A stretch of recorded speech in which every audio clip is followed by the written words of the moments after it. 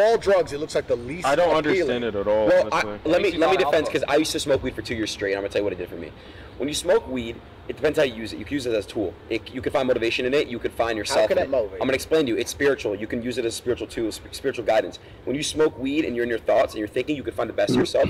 You can True. you can you can find who you truly are. I agree. with Do you know what the There's a lot of great ideas spirituality that come is, to me. What? Survival. I'll tell you a spiritual experience. Go have a fight with your security right here.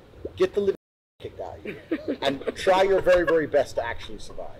That will teach you more about yourself, about grit, about determination, about who you truly are, about your spirituality, than any stupid plan. The reality of spirituality is a man is survival in the face of uncertain odds. You want to be, you want to find out about spirituality, walk into an MMA gym. You want to see what you're really made of? Go fight in the UFC. That will teach you about spirituality much more than some drug. That's Yes. Okay.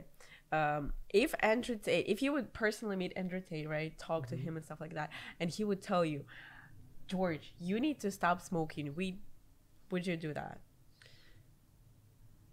I'm gonna I'm gonna answer that question with a little story. All right. Before I answer my question, I'm gonna, I'm gonna tell you the story, and uh, you've heard the story before. I just want I just want the audience to know about the story. Okay. There was this time in my point when I was serving. I was waiting tables. Uh, I wasn't even a server. I was an assistant server, and I was trying to become a server. I was trying so hard to become a server. I hated the job. I hated the position. I just wanted the status. I just wanted to be a server. I wanted to get paid more, and I thought that I had put in enough work. I, I'd been there for six months, and all I wanted them to do was to. I just asked them, "Hey, can you just train me? I'll come on my off day.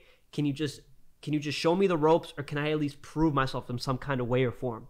And they said, "No, wait." And I waited and I waited and they kept saying no to the point where I got frustrated and I ended up looking for another job.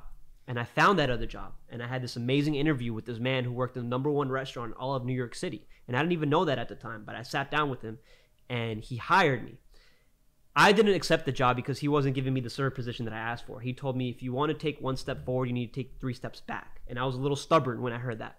And I was like, mm, I like the guy. I respect him a lot, but I just, I, I need this position. I need to be a server. So he ended up he I ended up working for him because he ended up coming to my restaurant and and basically looking looking me up and to see hey does he really work as hard as he says he does during the interview. I had a lot of respect for that, so I ended up working working for him. I ended up working for him and he wanted me to come work for him full time. And I told him I'm like, "Yo, like I have this other job." He literally stopped me like and was like, "Yo, he's like, honestly, like I know you have this part-time job, but how are they treating you? They treat you like shit. They don't give a fuck about you. What are you doing here? Like how how are they adding any value to your life? You've come here, worked to this restaurant, and you've literally leveled up three times, a hundred times over more than you ever will in that position. Why are you telling me you're not going to work this shift over that other shift? This provides you more value today. I want you to go home and quit your job right now because I'm going to bring you more money. When he told me that, I shit you not, I didn't argue. I didn't say nothing. I didn't like the way he was talking to me. Uh, in my head, I was like, who the fuck is this guy talking to me? He's my dad. What a little fucking asshole. And I really just sucked it in. I shut my mouth and I did what I was told. I quit my job and I made way more money. I became head bartender of that restaurant. So if Andrew Tate told me, hey, weed is not doing anything for you, quit smoking weed and you will make more money than you could ever imagine, you bet your ass I would fucking quit smoking weed.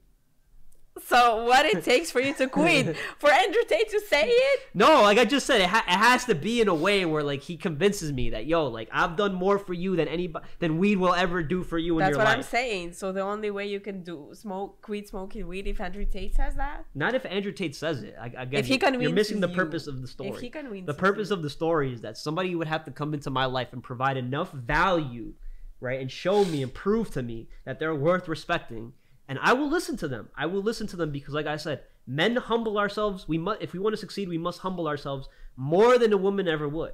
All right, we will do that. We will do that. So, so you know, that was my long way of answering that question. Okay, let's keep watching.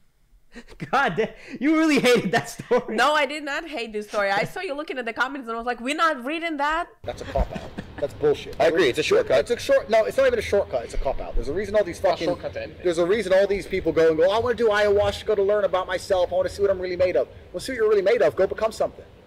Oh, I don't want to do that. That's hard. You know what So the- then, what the you- fuck? I know what you're made of. Do you know what- I know what you're made of already. You're a bitch. Do you know what the, do you know? Do you know what the Native Americans used to do? They used to make this stuff, this stuff called I think it was um walk, right? Not not like lean. They used to make this drink, and you would drink it and you'd hallucinate, and they said that they would find themselves from that. Yeah, Perhaps- they, al- they also used to It's like DMT train and ride now. horses and exterminate It's like DMT. Yeah. Each other and engage in battle. That's the thing about like you know Andrew, Joe Rogan talks about DMT. So many people, you know, you're talking about like weed gives you creativity. Weed's never given me creativity. Weed just helps me calm down a little bit. Like that. That's really all it does. Just like it just like makes me dumber. Like I need to be dumb, and it's almost like a weight on my brain so that I could work harder. It's almost like doing curl ups. Like that's what weed helps me does. Because when I'm off weed, I'm fucking on, bro. I'm just hella fucking focused. So that's the way I see weed. Now, when we're talking about spirituality and actually learning a lesson, I think one of our greatest lessons came from doing what? From dehydration. Dehydration hiking on a mountain. When we knew going up this mountain, we had very little water. And we experienced, like, yo, we had to share this amongst each other, bro. We can't get greedy with it. We have to finish the hike. We were, we were planning on quitting, giving up, getting irritated at each other. We were mad as fuck at each other during the hike. We didn't even speak to each other halfway through the hike, and we made it to the top. We shut the fuck up, and we looked at how far we have come. And we knew we had to go back down, and it was going to be dark, but we did it anyways. We got there with no water, and we went down with no water. And then at the end of the day, when we were driving home, dehydrated as hell, lips all chopped out, fucking being annoyed, we enjoyed every single drop of water. I don't care what anybody can say of creativity or We went to the grocery, we bought like five bottles. Yeah, but Like, we were enjoyed the crap out of that water. Able to drink it. We did, and that was spiritual for us. That was true spiritual enlightenment for us. All right, fuck any DMT, anything, all of that shit. That nothing will give you that same amount of like revelation or enlightenment in life than truly having those kinds of experiences. So you know, you need to make sacrifices in order to uh, like grow. battles and wars and a bunch of other shit. I'm telling you, if they did nothing but stream and take that shit, they wouldn't have found anything. I agree. Thank you. I agree with that part. I think you the easiest way to find yourself is to become the ultimate version of yourself. Yeah. Are you the best Adin you could possibly be? Hell no. Okay, so there you go. So you know what you need to do. I know what I need to do.